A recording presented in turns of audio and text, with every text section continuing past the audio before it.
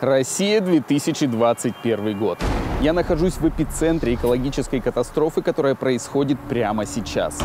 Это город Усолье-Сибирское, чуть больше 70 километров от Иркутска, и больше трех лет этот город живет в режиме чрезвычайной ситуации. Здесь все, земля, вода, рыба, люди заражены ртутью, и не только ей.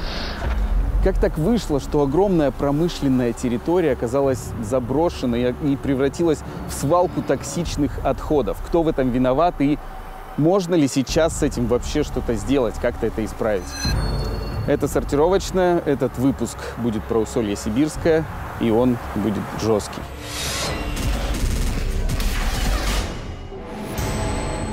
Люди до 40 не доживают, 45. Вот рак, то рак горла, то рак груди, то еще чего. У меня дед умер от рака желудка. Бабушка от рака там тоже чего-то не помню. Вот отец рак горла. В каждой школе есть класс, э, называемый класс коррекции. У меня даже, даже дома два противогаза лежит, на всякий случай. Люди уезжают отсюда. Потому что, ну, ловить здесь нечего прошлом веке Усольский химпром был крупнейшим химическим предприятием в Сибири. За время своего существования делал практически все, от химического оружия до обычного бытового отбеливателя, персоль, если помнишь. Это был настоящий гигант, который давал работу и поддерживал жизнь целого города на живописных берегах Ангары. И вот как этот гигант выглядит сейчас. 630 гектаров заброшенной территории. Все это похоже на декорации для фильма про апокалипсис. Но самое страшное глазами здесь не увидеть. Это 2 миллиона тонн химических отходов. Бывшие владельцы этих территорий просто сбежали, часть отходов бросили, остальное закопали, чтобы спрятать и потом не нести за них ответственность. В итоге здесь вся таблица Менделеева и концентрации токсичных веществ в десятки, сотни раз выше предельно допустимых норм. Когда мы приехали на территорию бывшего завода, было ощущение, что тут происходит ликвидация радиационной катастрофы. Это не так, но реальность не сильно лучше. Так здесь пытаются очистить территорию от ртути. Признаюсь честно, находиться там было страшно. На момент нашего приезда в воздухе на площадке ПДК по ртути были превышены в 230 раз. Если дома разбить маленький градусник, то это паника и срочно нужно вызывать МЧС. Здесь недавно ртуть просто была повсюду. Глядя на это, думаю, ни у кого не возникает сомнений, что это действительно место экологической катастрофы, которая складывалась здесь десятилетиями, но проходила удивительно тихо. Производственное объединение «Химпром» заработало в 1936 году, и место для развития большой химии химии лучше не найти. Усолье Сибирское стоит на огромном солевом месторождении. Вокруг полезные ископаемые, бескрайние леса, мощная широкая река, которая несет свои воды прямиком из Байкала. Соль — это натрий хлор, так что здесь стали делать, соответственно, хлор и его производные. На предприятии в лучшие годы работало 14 тысяч человек. раньше здесь весь город работал на химпроме. То есть сложно было встретить человека, э, который на химпроме не работал. Потому что там даже автобусы ходили, если посмотреть с карты, это ну, как территория города, даже, возможно, больше. То есть там прямо по территории ходили автобусы, там были свои столовые, там была целая система жизнеобеспечения. Я живу здесь с рождения. Вы, получается, историю Усолья Химпром э, э, проживали вместе с ним, когда он еще работал, когда закрывался, и вот нынешние да. времена. После института я там работала. Угу. Это вредное производство? Очень вредное. Не страшно было там работать? Не страшновато. Да. Да, потому что там бывали такие иногда моменты, что взорваться могло. Допустим, смену меняю, там насос горит, открытый огонь. Это все взрывоопасная ситуация. Огромное химическое производство находилось прямо в черте города. А так как проектировщики завода сильно накосячили с расположением по розе ветров, то местные жители старались пореже открывать форточки. Наблюдай нормы на 1 литр объема 1,2 жидкого хлора. Хлор – химическое оружие. В этом помещении хранилось. Несколько вдохов, и твоим легким, твоей слизистой конец. Выбросы хлора происходили регулярно. Работников пачками увозили в больницу с отравлениями, а у местных огородников не выживали ни укроп, ни картошка. Но люди не жаловались, относились к этому как к данности. Это ведь город химиков. Когда дождик проходит, осадки выпадали, Какие-то химические? Химические. Ну, зеленая это была земля. Этот После асфальт. дождя, да? После дождя, конечно. Вот. Это И запахи да... были хлора постоянные. Люди даже некоторые в обмороки падали. Я вот здесь вот живу с 70-го года. С детства ходил в химпром, работал еще, то хлором пахло, то рыбкой с утра, когда в школу шел. Ну, Ничего, живем. В 90-е химпром, как и вся страна, вступил в период кризиса. В ходе приватизации огромный механизм производства распался на отдельные цеха со своими хозяевами. Кто-то из них обанкротился, а кто-то переделал цех в торговую точку. Даже сейчас здесь работает внезапно майнинг-ферма, потому что электричество здесь самое дешевое в стране, рядом Иркутская ГЭС. В общем, в 90-е тысячи работников предприятия оказались никому не нужны, их просто выбросили на улицу. Там люди с семьями работали, там многие работали поколениями. Многие учились на то, чтобы только там работать и больше ничего и не знали, и не умели. Тогда в 90-е развалившиеся производства начали оставлять за собой след бесхозных отходов. В 96-м впервые заговорили об утечках ртути с цеха ртутного электролиза, который работал здесь с 70-х. А в 98-м цех закрылся. Ну, точнее, был просто брошен. Его особо не законсервировали, и ртуть была повсюду. Но об этом как-то никто не переживал. А вот что рабочих мест не стало, это для жителей города была проблема. Хотя надежда оставалась. В 2005-м в город приходит спасение. Компания «Нитол» на базе химпрома создает усолье «Сибирский силикон» и презентует первый в стране проект по производству поликремния для солнечных батарей. О том, что Россия делает ставку на альтернативные источники энергии, громко заявляют на самых верхах. На международных выставках обсуждают и хвалят этот российский проект. А инвестируют в него Роснано и Сбербанк. Городу Усолье-Сибирское обещали э, вторую жизнь. Э, Обещали э, большое предприятие с большим количеством рабочих мест, ну, налоговое отчисление, что будет город-сад. Но что-то идет не так. Завод по производству поликремния все никак не могут достроить. К 2010-му консервируют все цеха, которые не нужны силикону. В 2011-м местная газета еще выходит с такими заголовками. «Люди верят в будущее силикона» или «Шагаем в будущее вместе с Нитолом». Но в 2012-м завод закончен только на 75%. Стоимость поликремния на рынке упала в несколько раз. Китайцам удалось сделать гораздо более дешевое производство за счет масштаба. И Нитол заявляет, что никакого будущего не будет. Банкротство. В Усолье под сокращение снова попадает больше тысячи работников. А на промплощадке остается еще несколько ингредиентов для экологической катастрофы. После этого завода остались емкости с э, кремний хлорорганикой, которые были там по всей территории завода каким-то образом брошены, э, причем никто не знал, что в них находится, а надо сказать, что хлорорганика, взаимодействуя с влагой воздуха, начинает разлагаться и выделять соляную кислоту, которая летит в виде пара, и вот эти облака представляют огромную угрозу, потому что их может ветер снести на город. А представляете, что такое облако кислоты? И сразу следующий вопрос. Что произойдет, если огромная толпа людей остается без работы, а рядом заброшка, где валяется куча ценного металла и оборудования? Естественно, его начинают растаскивать. В 2017-2019 году э, ночью, если бы мы зашли с вами на площадку Химпрома, мы бы увидели Лас-Вегас. То есть в каждом здании что-то горело, пилилось, резалось. Пилили даже городские коммуникации, которые проходят через площадку, оставляя город то без воды, то без света. Пилили все попавшиеся под руку цистерны. МЧСники то и дело выезжали ликвидировать облака хлора или соляной кислоты, которые начали движение в сторону жилых кварталов. Тогда жителям напомнили старое правило усолья. Закрывайте форточки и не высовывайтесь. Тогда же в 2018 году мэр города Максим Торопкин ввел режим чрезвычайной ситуации.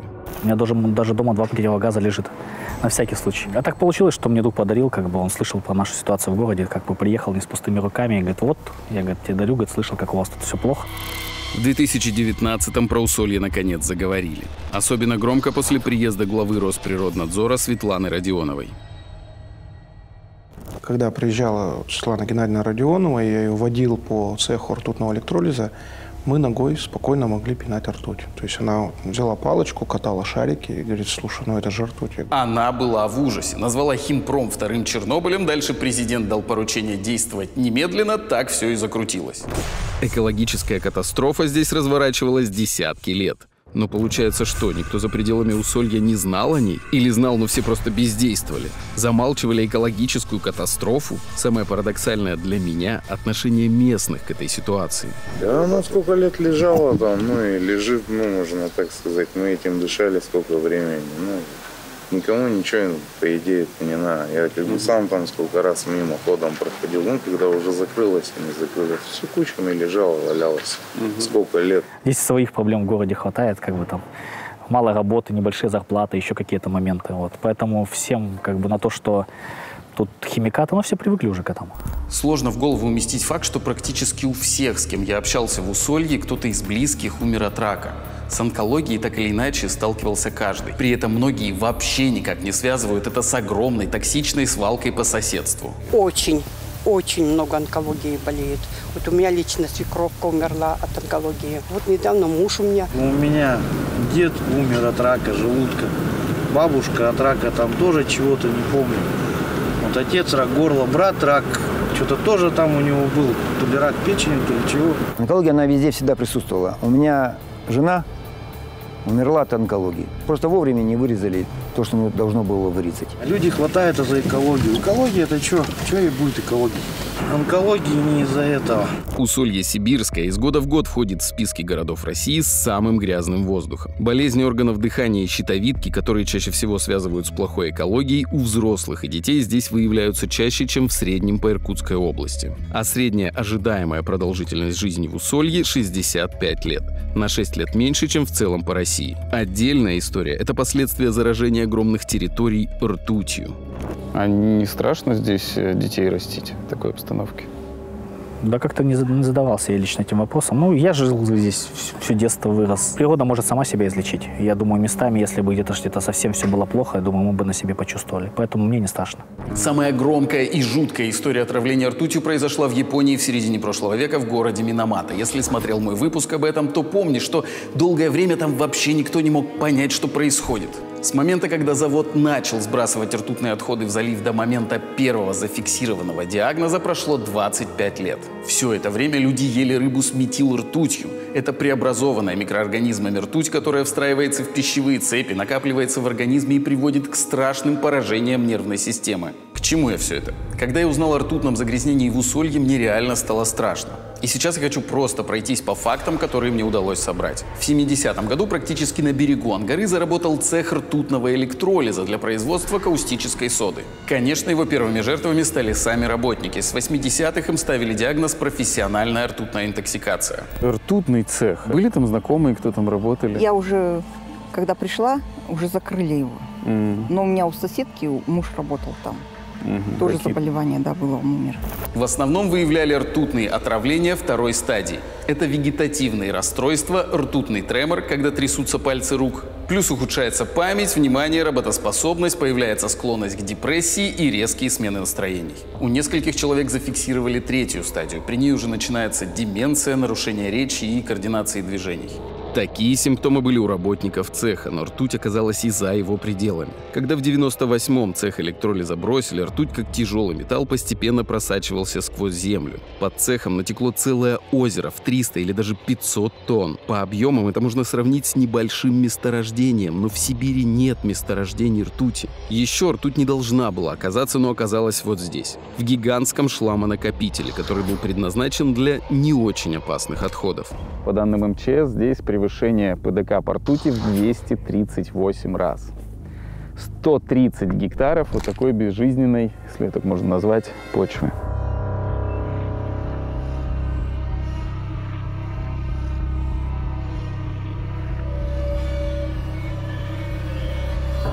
тонны, то есть это не даже не килограммы, не десятки кило, это тонны ртути, которые были туда сброшены. И сейчас вот там огромная площадка, она представляет довольно собой неплохую опасность, потому что она вся пропитана вот этой ртутью, и при этом она может пылить, вместе с пылью ртуть может лететь. От шламонакопителя до ближайших домов здесь рукой подать. Там все это время жили и сейчас живут люди. Ну и, конечно, вода не могла остаться без заражения. Раньше не было жестких норм и надзора за утилизацией промотходов, поэтому в советские годы они могли спокойно сливаться в ближайшую реку. В саму реку Ангараза все время работы цеха по самым скромным оценкам МЧС попало 60 тонн ртути. Еще в 92-м в рыбе из братского водохранилища, которое километров 200 вниз по течению, находили высокие концентрации ртути. В 97-м закрылся местный рыбзавод. До сих пор рыбу в Усольском районе и ниже по течению лучше не есть. Я не ем рыбу вообще. Не, ну ем эту океанскую. У нас были случаи, ну, в газеты прописывали, что ну, что-нибудь там вот сольется где-нибудь откуда-нибудь, выползет, и все. И рыба кверху пузом плавает. А знаете, пугали нас ртутью тут, заражением ртути. Чем только не пугали, ставили знаки. Никогда ничего. Всю жизнь рыбачили, всю жизнь ловили ничего. Ну, рыбаки рыбачат, он- я сам ем рыбу с ангары. Вот ее же не видно ртуть, когда ты ее ешь. Институт геохимии Сибирского отделения РАН с 98 года ведет мониторинг содержания ртути в рыбе и донных отложениях. Ртуть – это тяжелый металл, который оседает на дне, и там его перерабатывают и поглощают микроорганизмы. И даже если с водой все ок, то по мере прохождения ртути по пищевым цепочкам она накапливается, и в рыбе превышение уже может быть десятки раз. Ну, конечно, люди рыбачат здесь, несмотря ни на что. В селах это вообще один из немногих способов себя прокормить. Вообще много рыбаков здесь, много ловится. Да, постоянно тут много их. Слышали, что Усоль Химпром здесь недалеко? Слышь? Не, не пугает это? Да нет. Вплоть до 2015 года было обследовано 17 тысяч человек из приангарских сел. У 70% людей содержание ртути в моче и волосах оказалось выше фонового. У 10-12% выше допустимого. И 2,5% уже имели признаки легкой степени отравления ртутью. В группе риска значились дети до 6 лет, которые получали порции ртути с коровьим молоком. Официальных случаев болезни Миномата в Приангарье нет. Медицинские работники, с которыми мы консультировались, говорят, что в местной рыбе концентрация ртути в разы меньше, чем была в заливе Миномата. Плюс местные просто не едят столько рыбы, сколько в Японии. Я не могу ничего утверждать, я не специалист, у меня нет ни медицинского, ни химического образования. Просто зная историю с Миномата, можно вспомнить, что химическое отравление ртутью может выглядеть как множество других диагнозов. Альцгеймер, ДЦП или, например, умственная отсталость. Тут влияет на психику человека. То есть у нас есть своя психоневрологическая больница. У нас в каждом классе, в каждой школе есть класс, э, называемый класс коррекции, где э, есть э, дети, которым требуется особый подход, особая помощь. Я считаю, это тоже наследие химпрома. Без масштабных исследований точно говорить о причинах этого сложно. Но в любом случае жуткое наследие химпрома оказалось просто невероятным по своим масштабам. Когда объект включили в нацпроект «Экология», сюда пришли Росатом и его федеральный экологический оператор. По полной подключились МЧС и Минобороны. Летом 2020-го они провели полное обследование территорий и сделали презентацию на 30 страниц, от которой мурашки по коже. Презентацию я оставлю в описании, можешь ее подробно изучить, но вот главное. Там сказано, что ПДК по ртути в сточных водах была превышена в 33 900 раз. Сейчас ртутный цех снесли, его продолжают разбирать, промывают обломки от ртути, а растворы фильтруют. Возле бывшего водозабора из Ангары на нужды химпрома обнаружили нефтяную линзу, из которой в реку попадало примерно по 2 килограмма нефтепродуктов в сутки. Сейчас ее физически оградили от реки и придумали хитрую систему фильтрации, чтобы нефтепродукты не попадали в воду.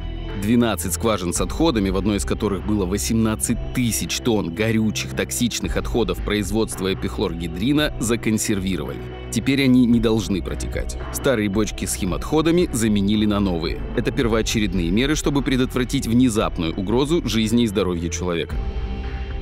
Почти все, что могло выветриваться, сливаться и просачиваться, было законсервировано. Почти потому, что остается, например, еще шламонакопитель и ливневый коллектор. А то, что годами попадало в реку, почву и грунтовые воды, к сожалению, уже никак не выковырить.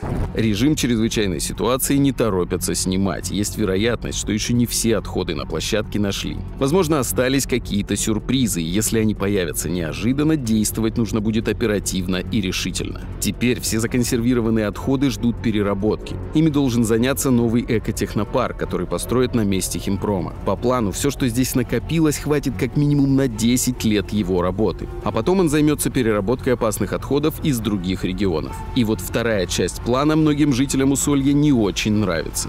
Против, конечно, по идее, против. Конечно, ну детям нашим жить, это будут перерабатывать, по-любому отходы будут здесь, ну, выбросы эти. Мы этим дышать будем потом. Лично я за. Я считаю, что если есть возможность, да, переработать все эти химикаты, всю эту ртуть, и еще использовать во вторичном производстве, да, это сейчас как бы не то, что модно, да, но это экологически важный момент. Вот я считаю, что этот завод нужно построить, нужно утилизировать все вот этот весь накопленный вред, накопленную химию, которая здесь есть. Вот честно говоря, я за себя скажу. Вот я жду, потому что я знаю, что городу нужны рабочие места, городу нужна какая-то новая кровь, движение. По всему земному шару, вроде в Россию, свозят помойку эту. И здесь и перерабатываться будет. Я просто не представляю здесь, что будет.